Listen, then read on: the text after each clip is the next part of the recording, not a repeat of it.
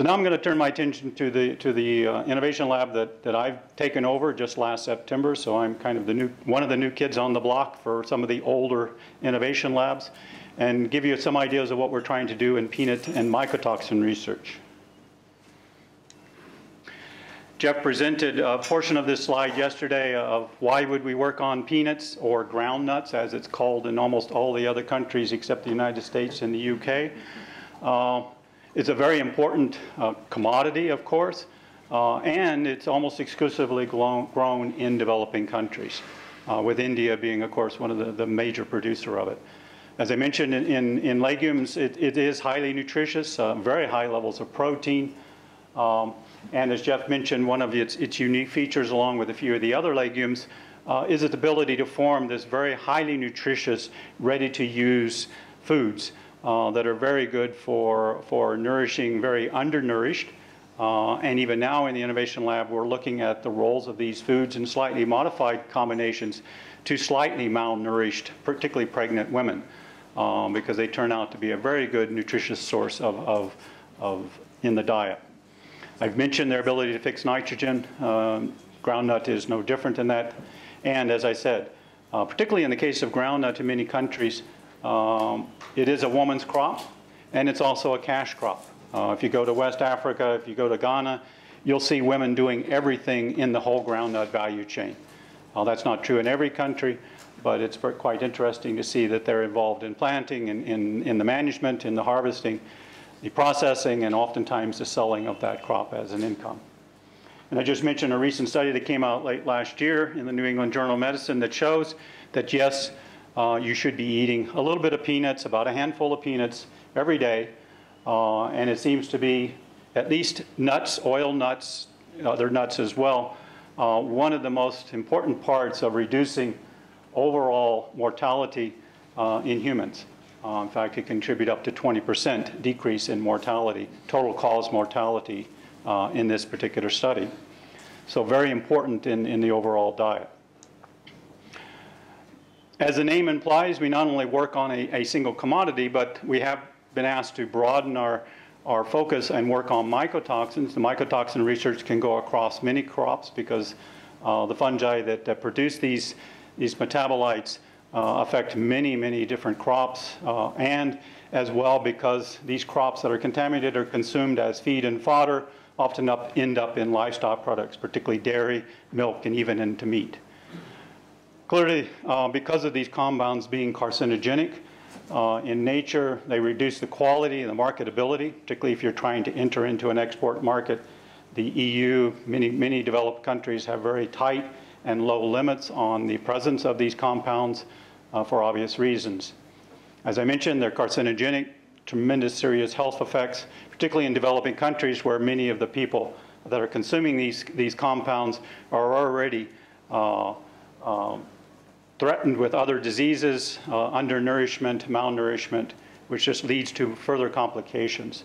And as Jeff mentioned, there's now some recent evidence, some late evidence that, that they seem to be also linked to childhood stunting. Our focus is, is, is much more reduced than the previous uh, peanut CRSP uh, that was in operation, which was working throughout the Americas uh, into uh, to many countries in Africa uh, to only five major countries. We are retaining the focus in Haiti and the Caribbean, and then in Ghana and West Africa, uh, Zambia, Malawi, and Mozambique in southern Africa. That is the work that we would do in, in the peanut value chains to increase productivity and profitability in, in those countries. The mycotoxin work is, is can be more broad. Uh, we're clearly interested in, in, solving mycotoxin contamination in peanut in those value chains, but we're also interested in the role that mycotoxins play in the overall diet because in many countries, uh, it's actually the maize that they're consuming that's contaminated with mycotoxins that plays a higher a role in the total load of mycotoxin in the diet uh, in many countries. We're looking at how we divine our research into across the value chain. A lot of work on, on the work on, on trying to improve on-farm productivity, uh, looking at uh, what is probably the most critical part in, in groundnut production, and that's what happens post-harvest, where a lot of the contamination by, by mycotoxins and the loss of quality and the ability to address markets uh, really comes into play. And then as well, I think when you're working on many of the legumes, having a market, having a product that can drive the adoption of a new technology is quite critical. So how do we make sure that we're looking at those opportunities? These are often done in, in partnership with, with many others in, in the project. As I mentioned, most of the work that we're doing is looking at this real critical phase to, to how do we get on-farm production of safe and highly productive groundnuts, how we then get it harvested, dried, stored if necessary, shelled, and then bought by buyers, ultimately processed and consumed by consumers. Um, we're looking at various steps along that. Clearly, a lot of the work that we do is try to make sure that we have the best varieties, the best agronomy practices that go into producing uh, the crop in the field. But then, as I mentioned, really a lot of the challenges I think that we face are what happens after it's ready to be harvested. How do we get it out of the ground? How do we have effective drying options so that the farmer can, can immediately dry it to keep it, maintain its quality? Oftentimes, farmers need to store the grain for periods of time to best address market opportunities. What roles can they then play in shelling, where a lot of contamination by, by mycotoxins do come back into the value chain?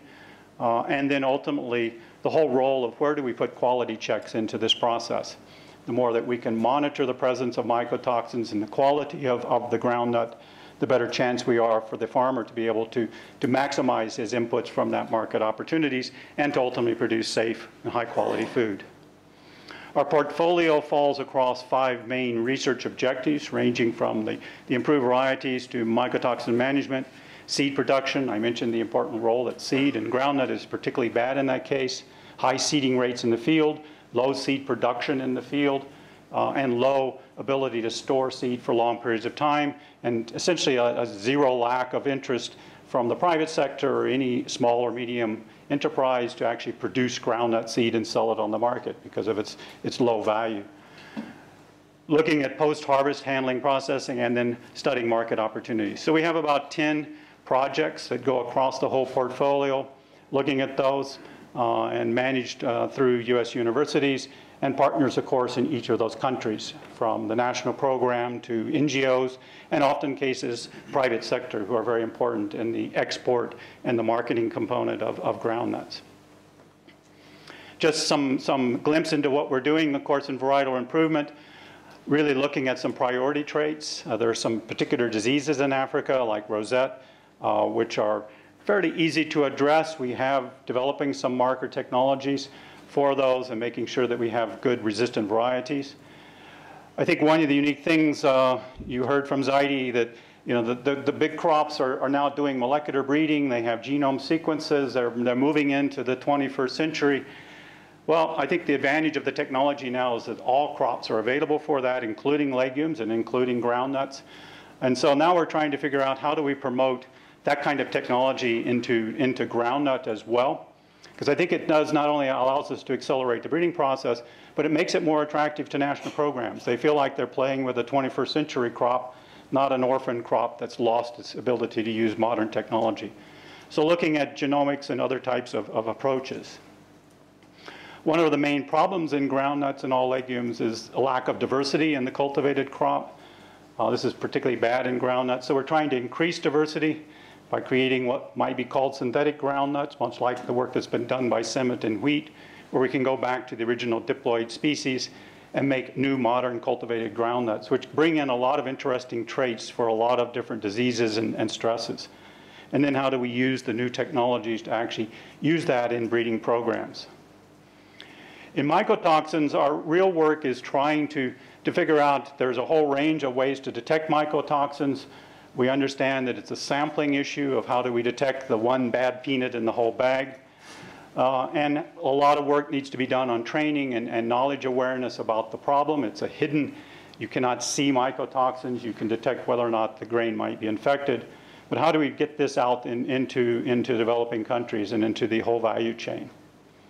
And our value chain then really looking at at mainly where are our critical intervention points to both maintain quality, productivity, and reduce mycotoxins.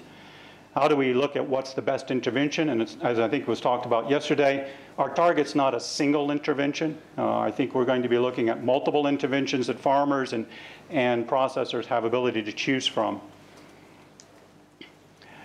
As I mentioned, it, it's not a new program. It's been going on for a long time, so there's a lot of technologies that I think are available and are being scaled up in different countries of the world, ranging from the improved varieties that particularly have drought tolerance and disease resistance. Uh, we have knowledge and, and, manuals on, on the right kinds of agronomy. It's a good way to prevent mycotoxins, at least at the production stage. And there, there are many different options for drying, storage, even mechanization in groundnut. Uh, all of these would contribute to a higher quality and a, and a, safer product, but we have to figure out what's the tailoring. Here's a Mandela cock, a very simple, low-cost, no-cost stacking mechanism to dry groundnuts in the field. Uh, works very well in southern Africa, but you go to West Africa, you don't see them. Can we actually bring that technology just across the continent? Um, looking at marketing opportunities, uh, the detection systems, and of course knowledge that's very important in peanuts and mycotoxins. Our challenges are listed here. It's a poor woman's crop. Uh, many national programs put it very low on the agenda. We need to raise that agenda. It's an opportunity to really pour out the importance of it. Uh, we need to make sure that we have good, strong government interest. Seed production, I mentioned. Knowledge is going to be very key to disseminate that out to a range of, of, of actors and stakeholders. And finally, I'll just mention uh, a new initiative that, that we're undertaking, which is a collaboration now between Innovation Labs and the CGIAR research programs. We hope to be able to announce in, in, a, in a short period of time a new PhD fellowship program, which will be jointly organized and sponsored by the Legume Innovation Lab, the Peanut and Mycotoxin Innovation Lab, and the CGI Research Program on grain legumes. We think this could be a very good way to, to attract students and scientists to get into legume research and take advantage of it. So. Thank you very much. More information, see the website. To learn more, please visit agrilinks.org and feedthefuture.gov.